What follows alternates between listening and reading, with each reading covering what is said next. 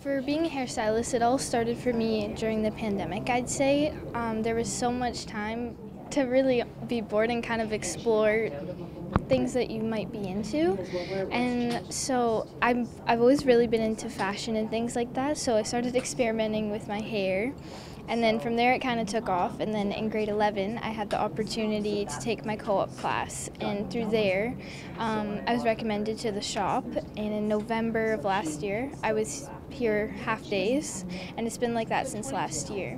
Really, what's happening is that a student takes a co op in a placement that is connected to a skilled trade, and that skilled trade signs them on as uh, an apprentice a youth apprentice, and their hours count. So the co-op student hours count. The, any uh, employment that they do outside of their co-op counts, and then they can take those hours and translate them straight into their apprenticeship hours that they're required to complete as part of their training to get their final ticket.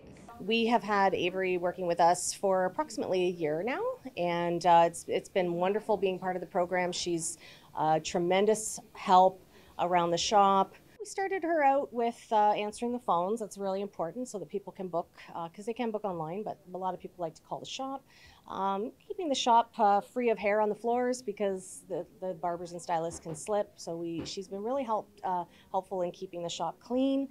Um, and as she's now that she's in school, um, we're going. We've been uh, getting her uh, used to doing some cuts and as her skills are refined, she'll be actually uh, taking clients in as well, just like the other stylists. So, if I was to do this um, not during high school, it would be a much longer process. Um, by being able to do this through high school, I'm able to get my hairstyling license um, at an earlier age, and I'm also able to um, get my hours done, which makes eh, the just the whole process of becoming a hairstylist a lot faster.